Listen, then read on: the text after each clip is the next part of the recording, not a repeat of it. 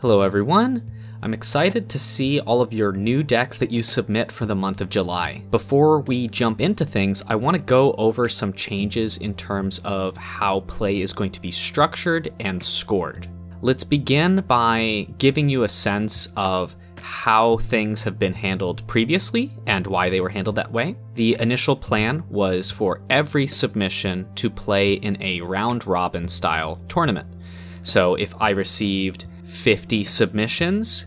Each deck would play against the other 49 players, both going first and going second. So that comes out to a total of 4,900 games. That seemed like a very manageable goal, believe it or not, for me to process in a one month period. That being said, I'm very grateful that people have taken a strong interest in joining this community and participating, but it has grown much faster than I had initially anticipated. And the trouble with doing a round robin style tournament is every additional player is significantly more labor than the previous player, which means that accepting a new player after I've already accepted 50 becomes more and more challenging. For that reason, I'm going to change the structure into splitting into pods of 25 is the plan. And to give you an idea of how much labor that saves me, a pod of 25 is 25 players play the other 24 players twice, once going first and once going second, and that comes out to 1,200 games processed,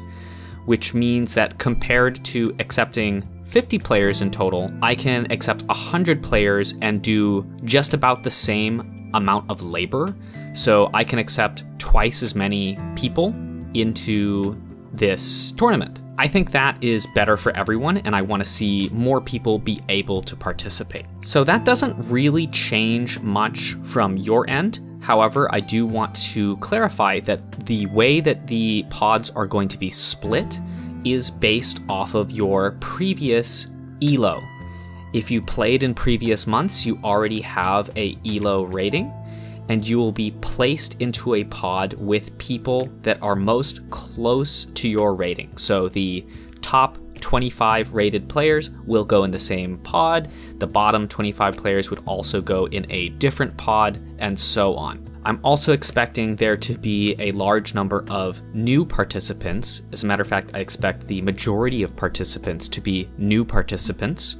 And just for reference here, new participants start at 1500 ELO rating, and you will be split as evenly as possible among the pods randomly. So you may end up in a pod with the best players, or you may end up in a pod with players that were a little down on their luck last month. You might also just end up in a pod exclusively with players that are exactly the same rank as you because they've also just started playing. The reason behind splitting players on rank is it's going to make it easier for there to be a clear monthly leaderboard at the end the highest rated pod will be placed at the top of the monthly leaderboard by default, but of course, which pod you are in will change over time based off of how your ELO rating changes over time. The other benefit here is it lets players play at the skill level that they are estimated to be at.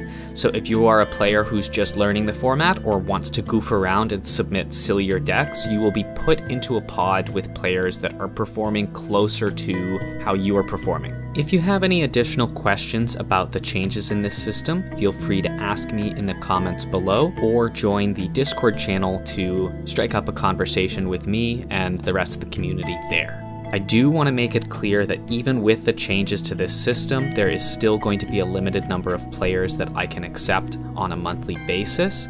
So for that reason, please get your submission in as early as you can. If you are unable to participate because you were not able to get your submission in early enough, I do recommend that you join the Discord. We will be running side events there that won't make appearance on the websites, but they'll have their own special rules sets, and you can even run your own side event. I also do want to give a shout out to a different three card blind community called Metashape. So if you're itching to participate now or in as many three card blind events as you want, if you want to participate in several of them, that would be a great community to check out. I will put a link in the description of the video to that as well. That wraps it up, folks.